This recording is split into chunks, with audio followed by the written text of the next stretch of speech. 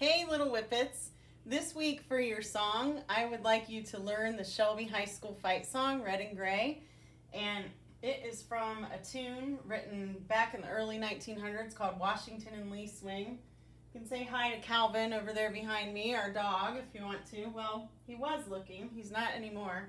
But enjoy learning red and gray this week. Oh, when the red